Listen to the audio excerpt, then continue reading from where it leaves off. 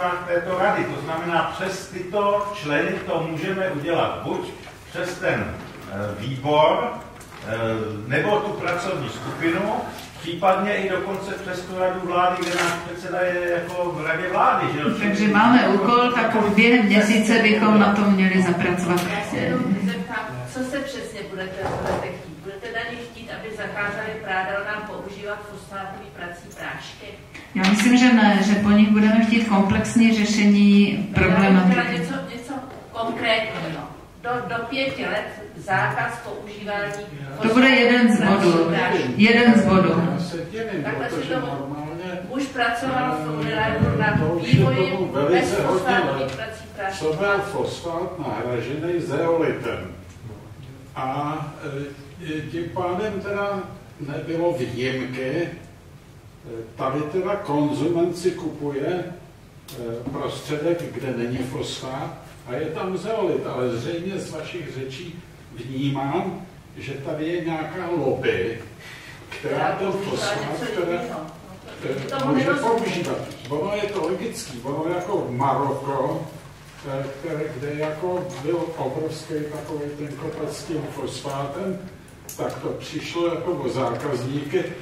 No takže museli poslat lobbyisty zřejmě jinam, aby teda získali odbytiště. A já nevím, já nejsem jako na výši, tak nevím, jestli je to pravda, že tady ty prádelny smějí ten fosfát používat. Ono je to levnější, že jo, než ten zeolit. No, nevím.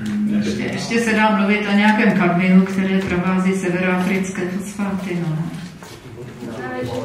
Já jsem se totiž domnívala, že to je evropská směrnice, že už se fosfátové prášky používat nesmí. No, musíme to práci a mící prostředky. Kromě profesionální užití, a to je v okamžiku, kdy s tím práškem nakládá osoba poučená a proškolená. Okay. No, je to jenom v českým, eh, v českým zákonodárství nebo, je. Český zákonodárství tím, že, to, že je to nařízení tak bez jakýkoliv implementace, ne, bez implementace platí rovnou ve všech členských státech. A ta implementace je jenom, že do nějakého chemického zákona se dalo, že kdo to nebude dodržovat, dostane pokutu.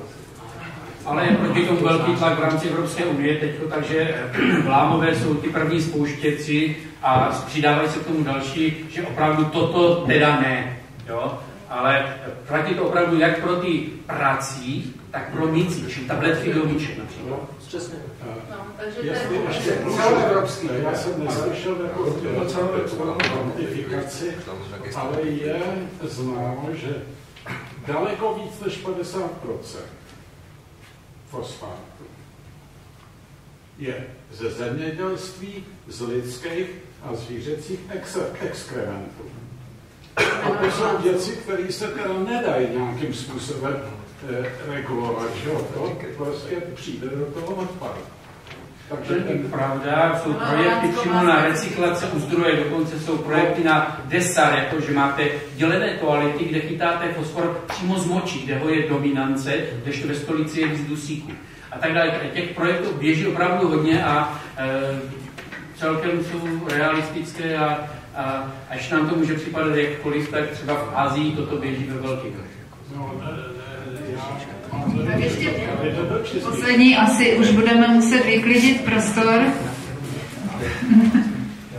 Se jenom zeptám o dovolení, my budeme mít 15. září výbor pro krajinu a biodiverzitu a jedno z těch témat jsem tam byla právě kvalita povrchových vod, inspirován situací léta a i tím seminářem jestli mohu ty vaše prezentace, které jsou perfektní, rozposlat ten členům výboru už jako předem, aby, aby to měli jako materiál. Jenom jestli s tím souhlasíte, všichni kývají, tak tak děkuju. Já to perfektní, samozřejmě. Já to, já to z kromě, kromě té prezentace, co byla z toho Brna, tam my jsme ztratili tu animaci. Teda, no. To nevadí. Nevadí vám to? Nevadí. Ale tak ta byla hezká. Tam byly zajímavé, proč tam vznikaly ty prsty třeba, teplotní. Zkoumali jste to?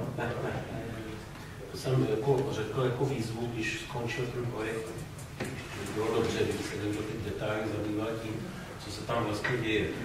Kromě toho, co, co říkáte celkově. Někdy na izotopech kyslíku třeba ve Slabský přehrádě, tak se ukázalo, že ono, ta řeka, když pustí někde třeba 10 kilometrů, tak ona se jakoby prstovitě si najde teplotně, hustotně svou úroveň, ona teče někde v hloubce a doteče skoro krátce. To je, to je v Brně to tež, to má nějakou svou teplotu, nějakou svou hustotu a, no, a pak jsou ještě zajímavý, jestli ten, ty anorganický prostředí toho dna, když se to strážilo tím železem, jestli uh, oni občas to znovu uh, bakteria organika nezredukuje a nepustí ho nahoru, nebo to, to jste ještě neskoumal můžou být chemické. A jinak to, že se dělali tím železem, to je opravdu přirozená věc. U toho hliníku člověk nikdy neví, jestli no, náhodou tam nezůstane nějaký ten toxická část toho hliníku, když to u toho železa, to je přirozená záležitost, myslím, bylo velmi citlivě zvolené. Autoři jsme nebyli Takže já si myslím, že bychom mohli diskutovat ještě velice dlouho. Jsem ráda, že se diskuze takto vyvinula. Pokusíme se z toho udělat nějaký praktický závěr, aby to neskončilo jen pustým žvaněním. A e, poprosíme vás o spolupráci a o pomoc, protože zřejmě nemáme osvíceného vládce a tak osvícenou vládu, aby to na to přišla sama.